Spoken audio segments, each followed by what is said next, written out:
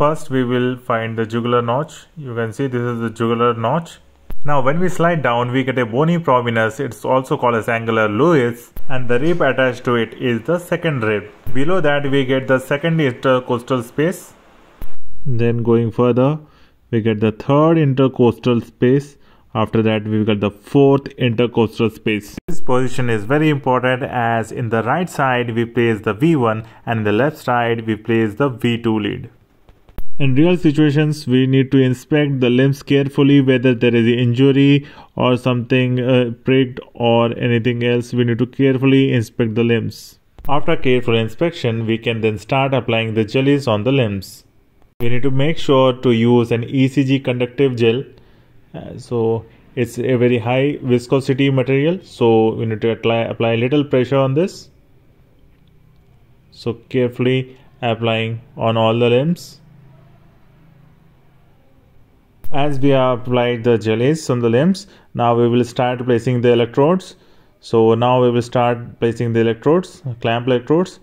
We can see this electrode. So this electrode has one metal shiny end so which is the conductive end and other is for the support. You can see one metal end and another is for support. We will just apply it carefully on the uh, part where we have applied the jelly. Similarly we will be applying on the left leg. You can see this in the wire there will be marking as F. This clamp is also structurally the same and has one part as conductive and second as supportive.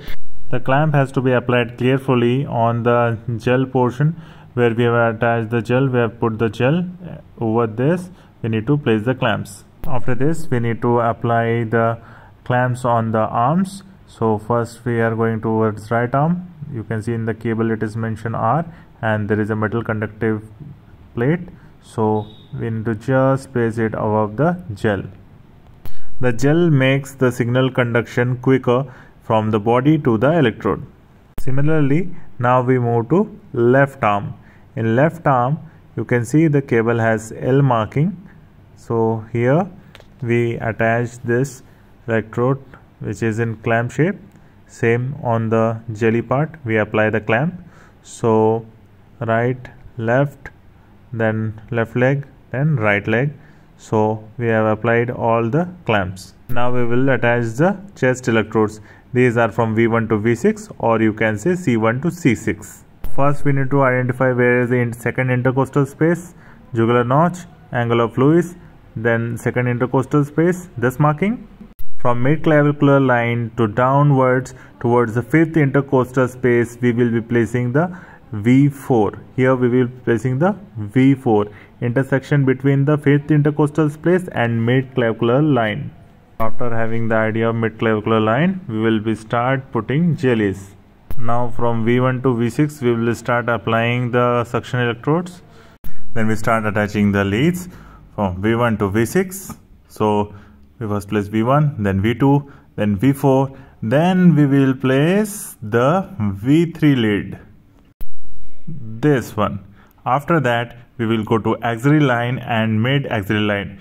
This with the inter intersection with the fifth intercostal space and in the same line as V4 we will be placing the V5 and V6 after attaching all the leads V1 to V6 and the clamp electrodes limb leads we just carefully inspect that everything is in place and all the electrodes are attached properly.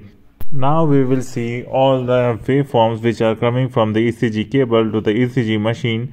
We will carefully inspect if all waveforms are correctly coming on the screen. And if there is any waveform missing we will just adjust the electrode.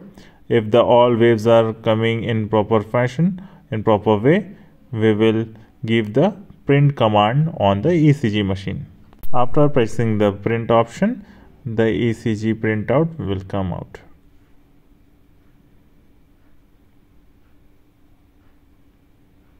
so we get this ECG graph Please do like and subscribe the channel.